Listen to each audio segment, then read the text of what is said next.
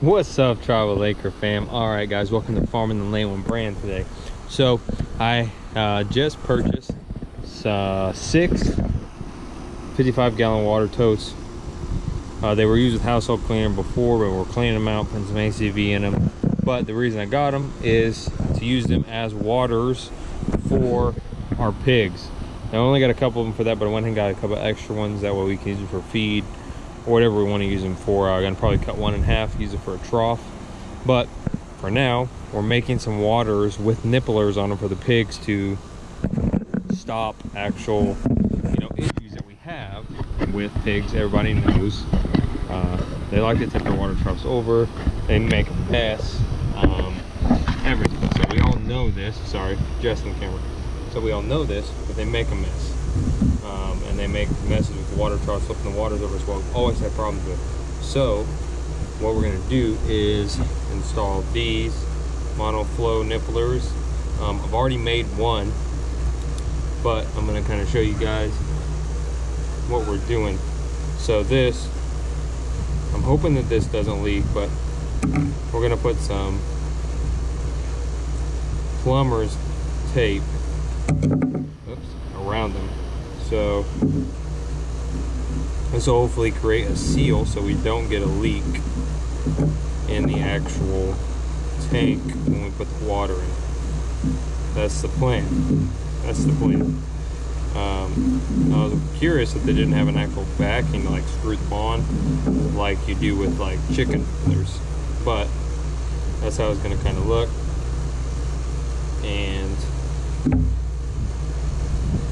we're going to attach this um, about midway. So this is going to be for some of my bigger pigs. So there's only two pigs in this area, but I'm going to. Okay, so what I'm going to do is um, grab another tote here. Let's grab this one. Okay. Sorry, function with one hand right now. Okay, so down, the drill. Okay, so I'm using a 3 4 paddle bit for these. These are the bigger monoflow ones. They're not the super, they have smaller ones for like piglets. These are ones actually for pigs. So I'm going about, I would say a little over a foot up. There's like lines in it and I'm putting it right here. Uh, about halfway up. They're not for piglets. Else I'd probably put them down here. So we're gonna put just one nippler right about here.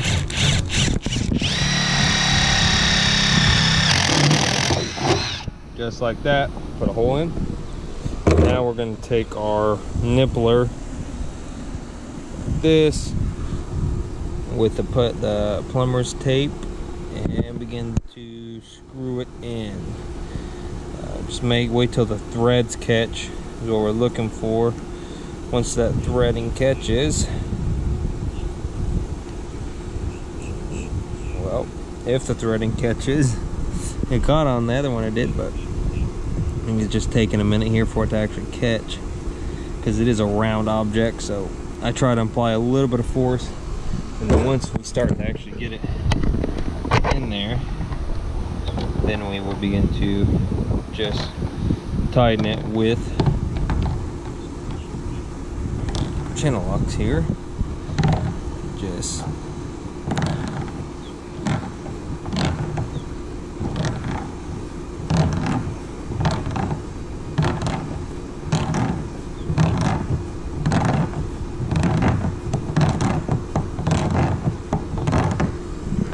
and some of the extra plumber's tape will actually create a seal on the outside that pushes out as well.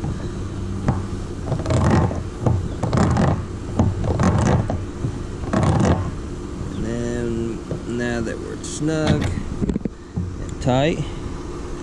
Let's check and make sure. Yep, I think our seal is all the way against it.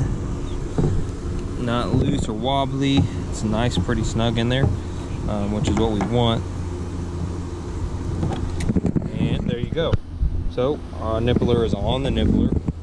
I mean on the tub. And then they'll just be able to drink out of it right from here just push up against it water should flow out um, should save on spilling i'm to kind of show you guys as we go Um, I might hook up a valve system in here somewhere to run it constantly. Um, but we're gonna see and I'm gonna strap it down. So I'm gonna clean these out because they need to be cleaned. But our nippler's on, but we can fill it up with a hose. As you can see, it's got some green stuff down there. So we're gonna wash this out. But this one's done. You can just do that as many nipples as you want along here. I would space them out at least probably eight inches just so you don't create a weakness in the barrel but also so multiple pigs can drink at once but you don't really need probably but two i'm only doing two for like 15 pigs so um, this one is only for two pigs with 15 set of pigs. They're not all going to drink at once um, and they'll take turns so i don't think you have a problem with only two to three nipples on there for multiple pigs so we'll see how this works and keep you guys updated as we go along with the video but this is actually the how-to of how to install one. It's pretty simple pretty easy so we're going to see if it leaks. I'll let you guys know. All right.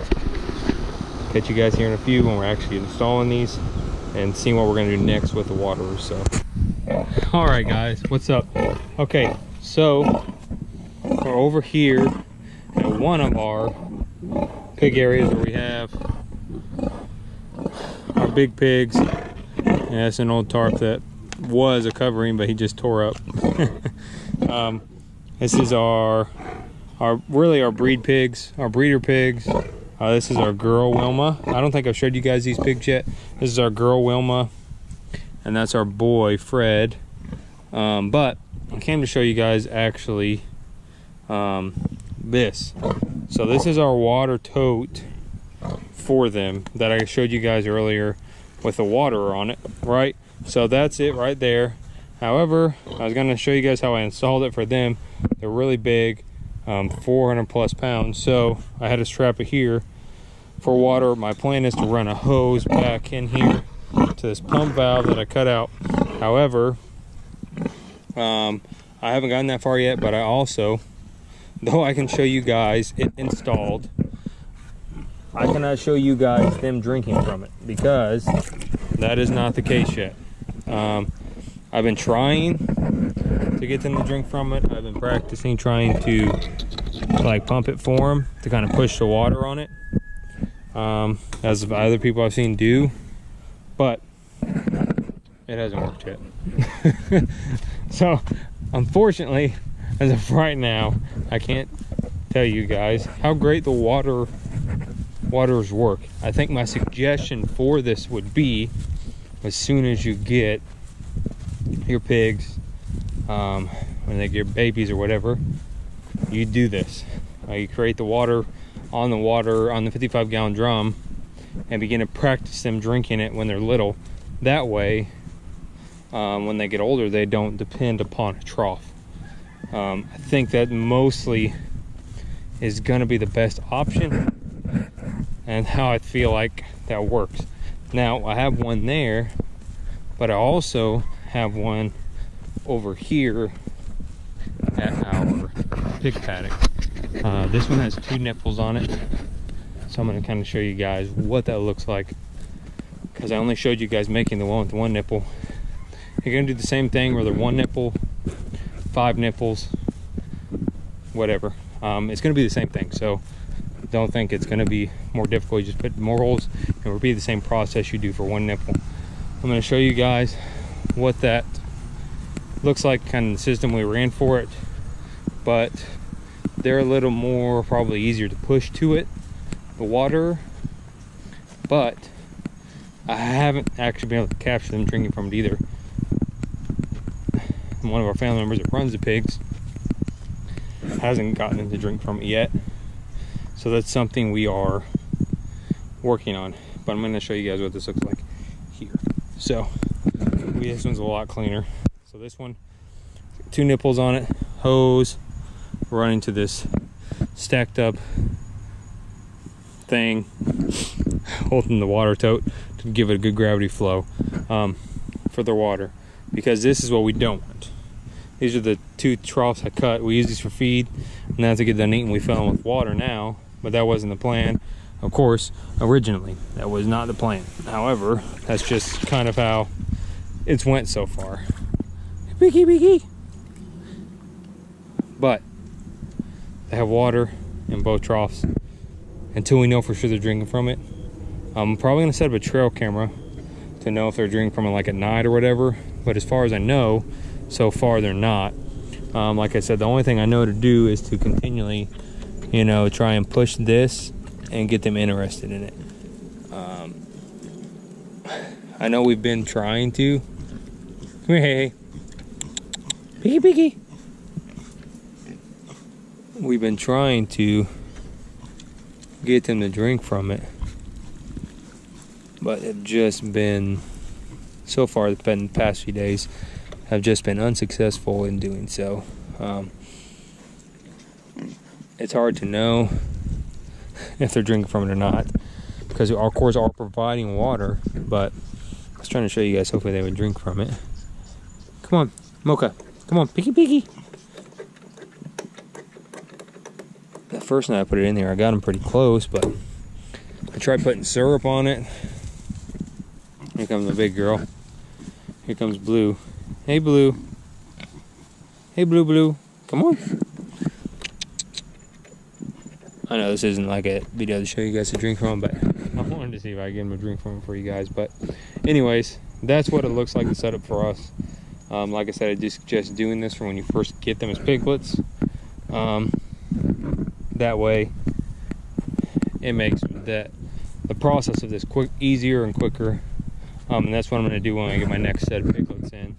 Um, hopefully, when our when Wilma gives birth to those piglets, that's how I'm going to give them water. Um, I think it will be easier then because they're also drinking milk from a nipple um, on their mom, so might think that an easy transition from that is what I'm hoping. Um, just create less mess, easier carry for water, so we don't have to fill them up every day. Um, just to make it easier, easier for preventing mud and so forth like that. So, hope you guys enjoyed this video. Although I cannot say for sure, even though I know it happens. Um, I can't show you the pigs are drinking from it, but that is what it looks like. That's how we set it up with the 250 gallon water tote into the 55 gallon drum. Um, you could run it a couple different ways, but that's how we're running right now. We don't have to fill it up every so often. So, hope you guys enjoyed the video. Hope it helps if you're wanting to do this. And I will make a video when I have them hopefully drink from it here soon. So, I'll see you guys later. And thanks for joining me on Farming the Lehman brand. See ya.